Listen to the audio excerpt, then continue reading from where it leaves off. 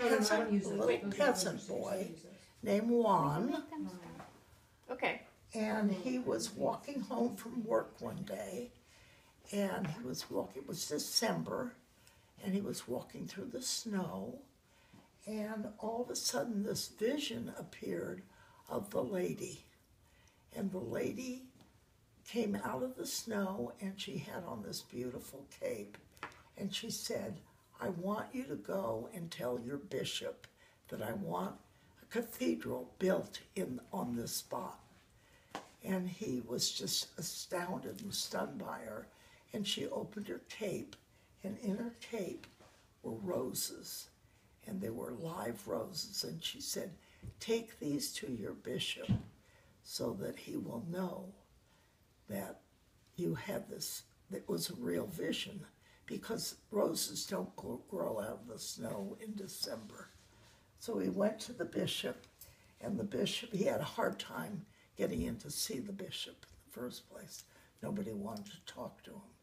So he persisted, and the bishop said, Well, you have to go back, you have to get another sign from the Virgin.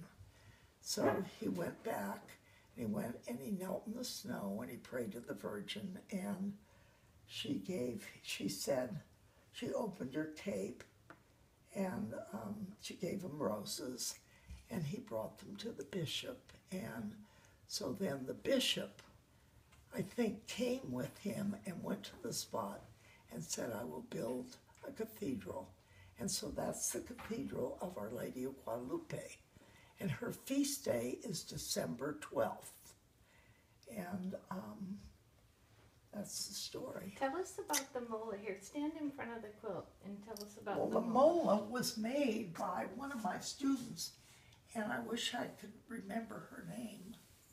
But she said, I will make you a lady mola if you will trade me some of your house quilts, house blocks. So I made her some house blocks and sent them to her. And then I was absolutely astounded when this beautiful mola came. So I had the mola for almost two years before I really decided how I was going to present it. And uh, so lots of times it takes me a while. I have to think of things. I have to um, really kind of mull it over. And um, but this is, I think, is a good example of using the same style fabrics, They're like the Mexican roses. right? And they looked very Mexican to me. When did you complete this? Oh, probably about six months ago. And who did the quilting? Um, this is um, Judy Irish. 2013. No, I made, made it in 2013, but that doesn't mean it was quilted then. Um,